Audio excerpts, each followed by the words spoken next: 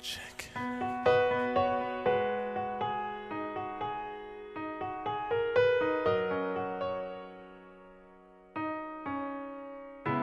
There are things that I wish for.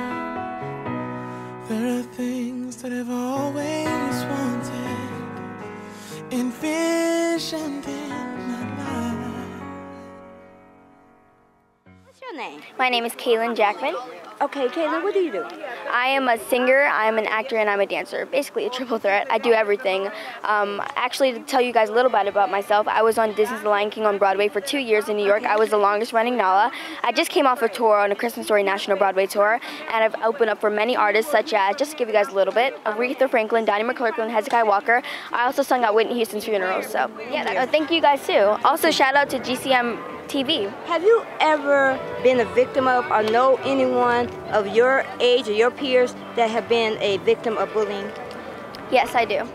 I feel bullying is an act of boredness. I feel like kids who bully is because they have nothing to do. That's like I always say. Parents have to put their kids in things, activities. Always have to keep their kids busy. Always have to keep their kids busy because you never know what that kid has is going through or what that kid wants to share with the world. So make sure you keep your kids active. My name is Klynn Jackman, and if you guys would like to support me, I do have my own website. It is www.klynnjackman.com, and you'll see all my social media sites from Facebook to Instagram to Twitter and everything. Don't dream it, just live it, and if you believe in yourself, the world will believe in you. You're watching GCM TV, and my name is Klynn Jackman, and don't stand for bullying.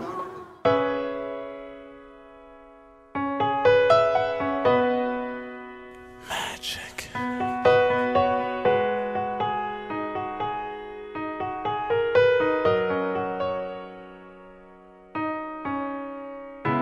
There are things that I wish for. There are things that I've always wanted, envisioned in